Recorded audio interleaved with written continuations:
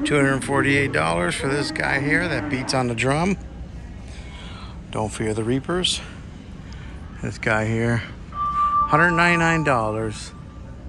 Looks like they're on little pedestals like so. This is Lowe's new newest Halloween decor. Take a look at some of those other guys that they got back there. Huge.